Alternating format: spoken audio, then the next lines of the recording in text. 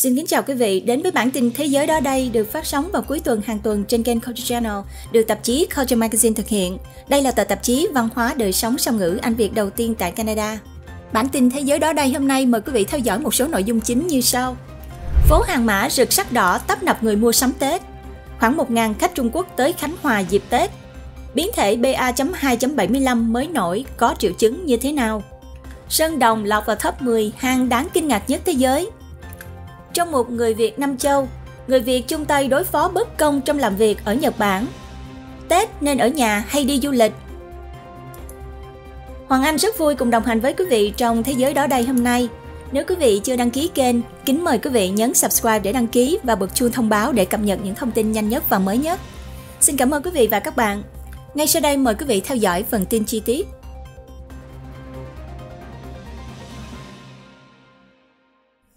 Còn nửa tháng nữa là đến Tết Nguyên đán Quý Mão năm 2023, phố Hàng Mã, quận Hoàng Kiếm, Hà Nội, những ngày này đã ngập tràn sắc đỏ của những món đồ trang trí và tấp nập người mua sắm Tết. Ghi nhận của phóng viên, các cửa hàng trên phố Hàng Mã đều đang tất bật cho vụ Tết Quý Mão năm 2023. Từ sáng sớm thì không khí tại đây đã nhộn nhịp người bán người mua. Đa số người dân thủ đô tìm đến đây để mua sắm các loại đồ chơi, phụ kiện trang trí Tết.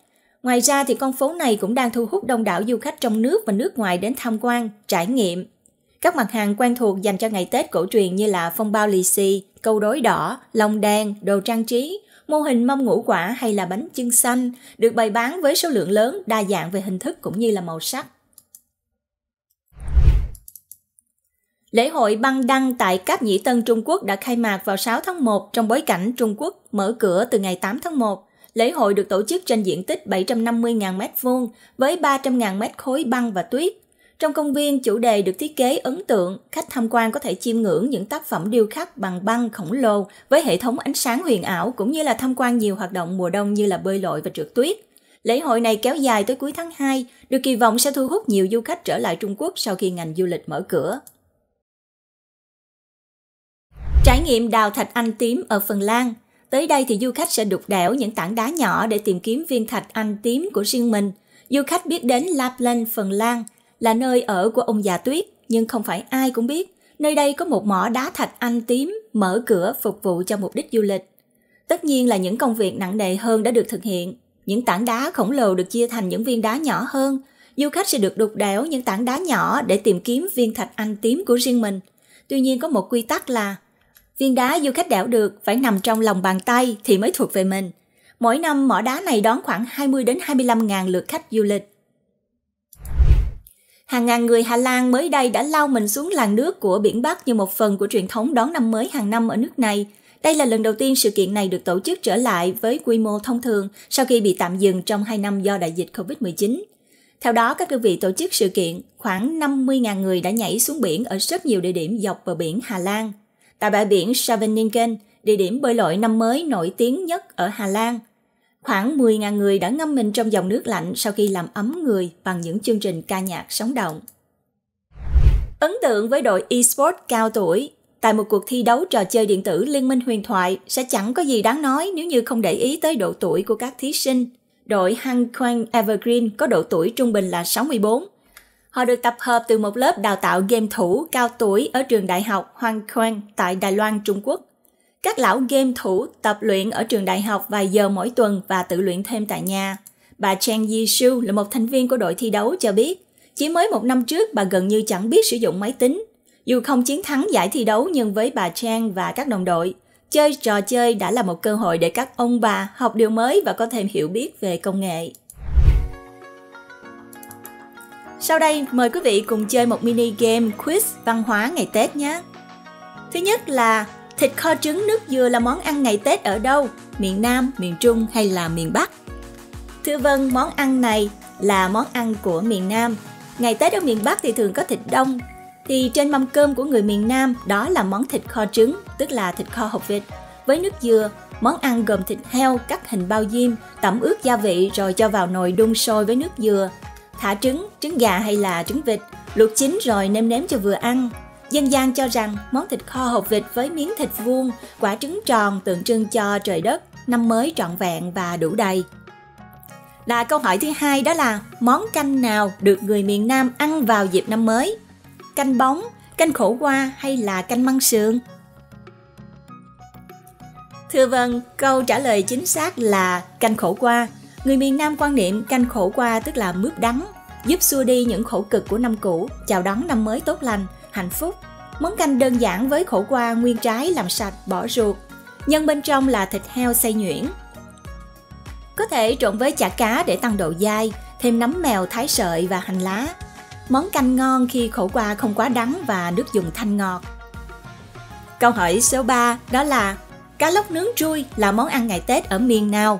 Miền Bắc, Tây Nam Bộ hay là miền Trung? Thưa vâng, câu trả lời chính xác là ở miền Tây Nam Bộ. Mâm cơm ngày Tết có sự giao thoa văn hóa giữa bốn dân tộc Kinh Chăm Hoa Khmer tại miền Tây Nam Bộ. Ngoài món đinh là thịt kho trứng, còn có cá lóc nướng trui. Cá do người dân tác đìa, tác mương chuẩn bị thực phẩm dự trữ trong Tết. Sau các bữa cơm với thịt kho, gà luộc, người dân thường ăn món cá lóc nướng cuốn bánh tráng, rau sống để chống ngán. Tiếp theo là bánh tổ là món ăn cúng gia tiên ở đâu? Ở Quảng Ngãi, Quảng Nam hay là Quảng Bình? Thưa vâng, món này là tại Quảng Nam. Với người dân Quảng Nam, bánh tổ là loại bánh của ngày Tết. Những ngày đầu năm trên bàn thờ gia tiên của người dân không thể thiếu loại bánh này. Nguyên liệu chính gồm có nếp, đường, hạt mè và gừng.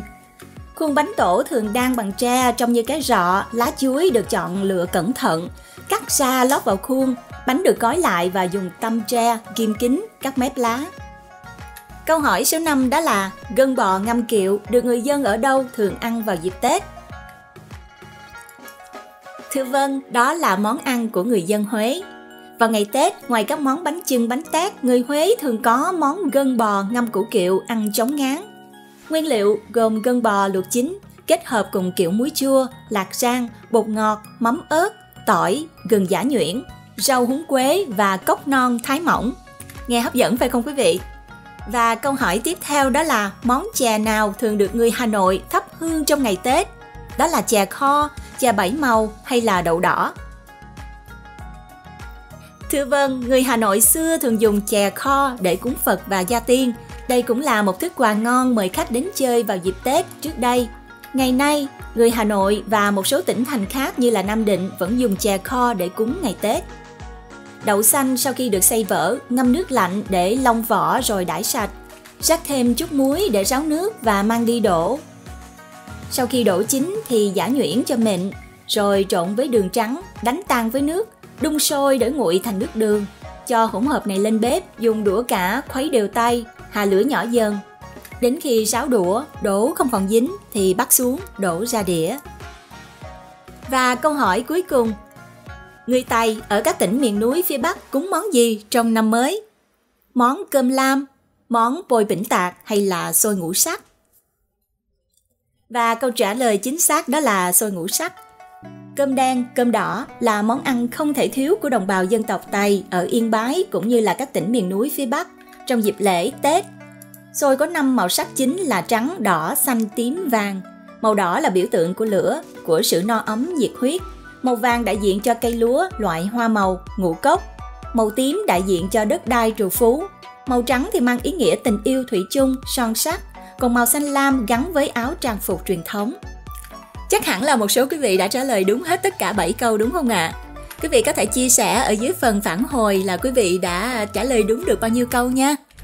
Thưa quý vị, việc nên hay không đi du lịch vào ngày Tết đã trở thành đề tài gây tranh cãi của cộng đồng mạng trong tâm thức của người Việt, Tết cổ truyền là thời điểm thiêng liêng. Tết là để trở về, quay quần bên gia đình thân yêu sau một năm làm việc vất vả. Tuy nhiên, xã hội phát triển, cuộc sống nhiều đổi thay. Có người đặt câu hỏi, liệu cả 6 đến 7 ngày nghỉ Tết nguyên đáng có nhất thiết là phải ở nhà hay có thể dành thời gian này để đi du lịch, du xuân, trải nghiệm không khí, văn hóa năm mới ở một nơi xa? Có luồng ý kiến cho rằng Tết là để đoàn viên sum họp không gì có thể sánh được cảm giác ấm áp khi được ở bên mẹ cha, chăm sóc ông bà hay ngồi bên bếp lửa làm những món ăn truyền thống. Nhưng cũng có nhiều người lại lập luận Tết là dịp được nghỉ nhiều nhất và muốn tận dụng để đi du lịch thỏa thích. Đặc biệt người trẻ có quan điểm sau một năm làm lụng vất vả, cần tự thưởng cho mình và gia đình khoảng thời gian, không gian thú vị để xả stress. Chỉ còn hai tuần nữa Tết sẽ tới, thời điểm này là lúc mỗi người quyết định lựa chọn cho mình những kế hoạch đón Tết. Giới trẻ ngày càng muốn được xây dịch nhiều hơn dù cho là những ngày Tết. Điểm chung giữa những người lựa chọn du lịch dịp Tết là mục tiêu tìm kiếm những trải nghiệm du lịch mới mẻ để khởi động một năm mới an nhiên và đầy hứng khởi. Trong những năm gần đây, nhu cầu đi du lịch ngày Tết ngày càng nhiều. Những khu du lịch, nghỉ dưỡng, thực tế bị quá tải, dịch vụ không đáp ứng hết được nhu cầu của khách hàng. Sau một năm làm việc vất vả, khách hàng muốn được một cái Tết trải nghiệm. Có khách thì muốn trải nghiệm văn hóa vùng miền, có khách lại chỉ muốn nghỉ ngơi ở các khu nghỉ dưỡng. Nhu cầu đi du lịch ngày Tết hoàn toàn là bình thường, nhất là trong cuộc sống hiện đại có nhiều áp lực. Quãng thời gian nghỉ đón năm mới thật quý giá với bất cứ ai. Tuy nhiên không phải ai cũng mong muốn điều đó. Tết từ lâu là dịp để chúng ta nghỉ cho gia đình thay vì nghỉ cho riêng mình. Nét đẹp truyền thống của Tết Nguyên đáng là đoàn viên, Tết là trở về nhà. Người đi xa mong về quê, người ở nhà thì mong ngóng người ở xa, mang ý nghĩa gắn kết tình cảm thiêng liêng trong mỗi gia đình. Và chính vì vậy, đón Tết cùng gia đình hay đi du lịch ở một nơi xa luôn là một lựa chọn khó khăn. Chơi Tết như thế nào cho đúng, cho phải, vừa giữ được thuần phong mỹ tục, vừa giữ được nét đẹp truyền thống là Tết của gia đình. Theo tiến sĩ Nguyễn Viết Chức, Tết là để tri ân tổ tiên, không có nhà nào không thờ cúng tổ tiên ngày Tết. Nhưng giờ có người muốn đi nhiều nơi khác đón Tết. Đó cũng là áp lực đối với nhiều bạn trẻ. Tôi thấy nhiều bạn trẻ giờ có động thái rất đúng, từ ngày ông Công, ông Táo tổ chức thờ cúng tiên, còn đến Tết thì đi xa. Với người lớn tuổi thì tình cảm là quan trọng nhất. Ông bà mong ngóng con cái để hỏi han về cuộc sống, chia sẻ những điều đã qua trong năm cũ. Vì vậy ông bà sẽ có cảm giác cô quạnh khi lớp trẻ kéo nhau đi du lịch hết. Chính vì thế, lựa chọn nào cũng cần vẹn cả đôi đường. Vào dịp Tết Nguyên Đán, mỗi tỉnh, thành phố, khu vực lại có những lễ hội, những hoạt động khác nhau. Mỗi lễ hội lại mang nét đặc trưng riêng, hội tụ âm nhạc, trang phục, điệu múa hay là trò chơi dân gian độc đáo. Chính vì vậy, đây là dịp rất quý để bạn có thể tìm hiểu nền văn hóa phong phú của dải đất hình chữ S. Tuy nhiên, dù lựa chọn phương án nào để đón Tết thì cũng cần lưu ý hai điều, đó là gìn giữ không khí Tết ấm áp cho gia đình mình và phải có một kế hoạch tài chính hợp lý. Biến thể BA.2.75 mới nổi có triệu chứng như thế nào? Các triệu chứng phổ biến khi nhiễm COVID-19 trước đây là ho, sốt, mất vị giác, khú giác. Thì nay, khi nhiễm biến thể mới BA.2.75, các triệu chứng sẽ giống cảm lạnh thông thường hơn, chẳng hạn như là đau họng, sổ mũi, hắt hơi, đau đầu, sốt nhẹ, mệt mỏi. Theo thông tin từ hệ thống y tế hàng đầu Ấn Độ, Narayana Health, BA.2.75 là biến thể phụ mới nhất của biến thể Omicron. Các triệu chứng của biến thể phụ này giống triệu chứng cảm lạnh và có khả năng lây truyền cao. Nhiều chuyên gia đã phân tích biến thể phụ mới này và tuyên bố rằng BA.2.75 dễ lây truyền hơn là các biến thể khác, có khả năng phá vỡ khả năng miễn dịch có được do từng nhiễm COVID-19 hoặc là do tiêm chủng. Mặc dù các triệu chứng của BA.2.75 là nhẹ, nhưng biến thể phụ này đang lây lan nhanh chóng. Người lớn tuổi và những người có khả năng miễn dịch kém cần chú ý. Các chuyên gia cho biết nguy cơ tái nhiễm Omicron cao hơn là so với các biến thể khác.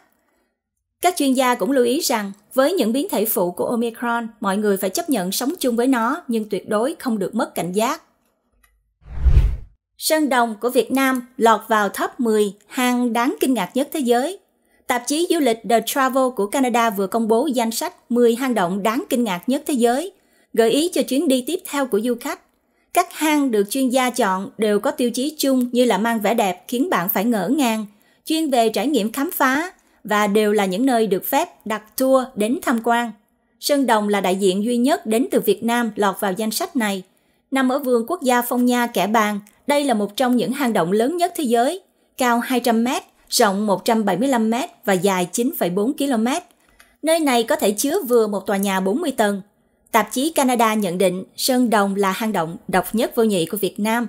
Khách quốc tế biết đến Sơn Đồng với cái tên hang núi sông River Mountain Cave Hang được cho là hình thành nhờ sông rào thương, xói mòn vào chân núi đá vôi Trường Sơn. Sau quá trình sông núi hợp nhất, một đường hầm lớn được hình thành bên dưới các vách đá. Khi đến hang thì các chuyên gia du lịch của The Travel nhận định du khách sẽ bị mê hoặc bởi cây cối, rừng rậm như là nấm trong hang, cùng các nhũ thạch, măng đá cao, hố sụt và ngọc trai hang động. Bạn phải mất ít nhất 2 ngày đi bộ xuyên rừng, vượt sông Giá tour khám phá Sơn động trong 4 ngày là 3.000 đô la Mỹ và phải thông qua Ban Quản lý Vườn Quốc gia Phong Nha Kẻ Bang. Chuyển sang người Việt Nam Châu, người Việt chung tay đối phó với bất công trong làm việc ở Nhật. Nhiều người Việt Nam tham gia thành lập Liên đoàn Lao động dành cho người nước ngoài ở Nhật Bản sau khi có không ít thực tập sinh lên tiếng về việc bị đối xử bất công trong quá trình làm việc tại nước này. Lễ ra mắt liên đoàn diễn ra tại Tokyo mới đây. Liên đoàn này được thành lập nhằm giúp các thực tập sinh và lao động bán thời gian người nước ngoài tại Nhật có được quyền thương lượng lớn hơn với chủ sử dụng lao động của họ. Liên đoàn ban đầu có khoảng 20 thành viên, trong đó có nhiều thành viên là kỹ thuật và sinh viên người Việt đang làm việc bán thời gian. Một thành viên người Việt của Liên đoàn Lao động mới cho biết, có nhiều người Việt ở Nhật không nói được tiếng Nhật hoặc là không có ai để tư vấn. Chàng sinh viên này đang làm việc bán thời gian, nói muốn hỗ trợ các đồng hương và để mọi người ở Việt Nam biết về tình hình. Liên đoàn trên được hỗ trợ bởi một tổ chức phi lợi nhuận hỗ trợ người Việt sinh sống tại Nhật. Đại diện liên đoàn cho hay họ sẽ gia nhập Renko Tokyo, một phần của tổ chức lao động lớn nhất Nhật Bản, Liên đoàn Công đoàn Nhật Bản, với mục đích sử dụng mạng lưới và bí quyết của Renko giải quyết vấn đề nhanh chóng.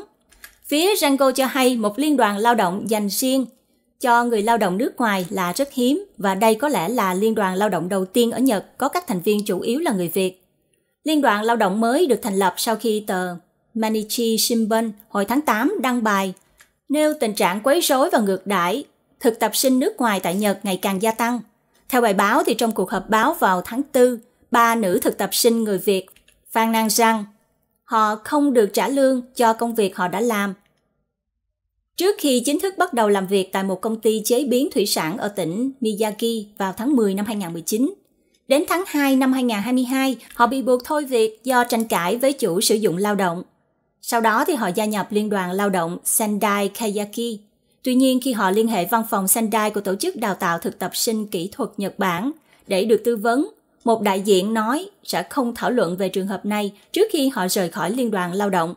Sau khi bị Liên đoàn Lao động Sendai Kayaki phản đối, tổ chức đào tạo thực tập sinh kỹ thuật Nhật Bản thừa nhận yêu cầu như thế là không phù hợp và hứa hỗ trợ ba nữ sinh thực tập sinh tìm việc khác.